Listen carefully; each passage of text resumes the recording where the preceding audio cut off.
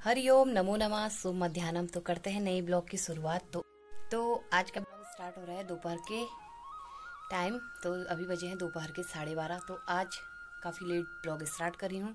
तो blog start क्यों कर रही हूँ? क्या दिखाने वाली हूँ मैं आज? स्पेशल आपको, वो मैं आपको बताती हूँ। तो चलिए, चलते हैं रसोई की ओर। तो वही है हमारा स्पेशल कार्य, जो आज मैं आपको दिखाने वाली हूँ।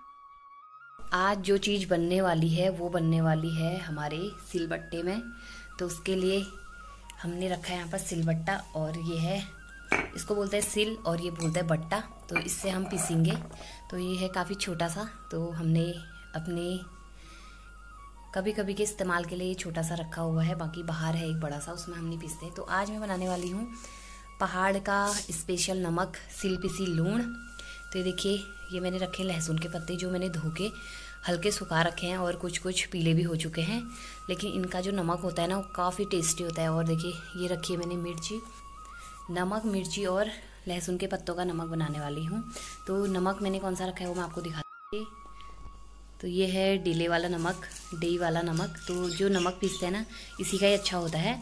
तो बाकी लहसुन के पत्ते हैं और हरी मिर्ची हैं। इनका मैंने बनाना है आज नमक, वो भी सिल में पीस के। तो आपको दिखाती हूँ किस तरह से मैं आज नमक पीसने वाली हूँ।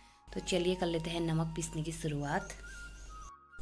तो देखिए, सिल पीसने के लिए हमने, सिल पीसी लूण के लिए हमने ये सब यहाँ पर रख दिया है। और अब हम इसको पीसते हैं फटाफट। तो आपको दिखाती हूँ किस तरह से मैं पीस रही हूँ नमक।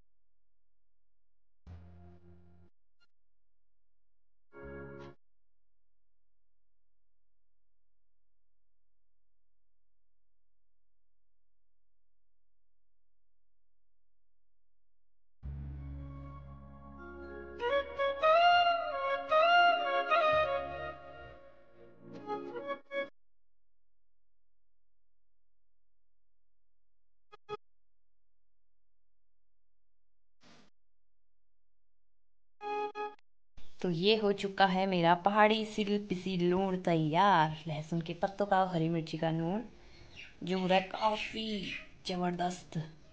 तो चलिए अब मिलते हैं आपको जल्दी नए ब्लॉग में। तब तक के लिए बाय बाय। जय देवी, जय उत्तराखंड।